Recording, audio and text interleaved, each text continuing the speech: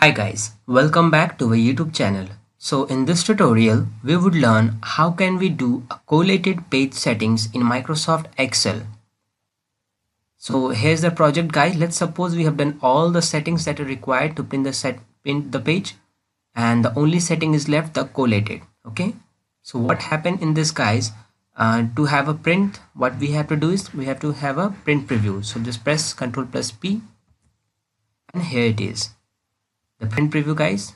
And let's suppose all the setting that is required to print a page it's done. Basically guys let's suppose i'm having this project of one page but sometimes we have a worksheet of total 30 pages 50 pages okay?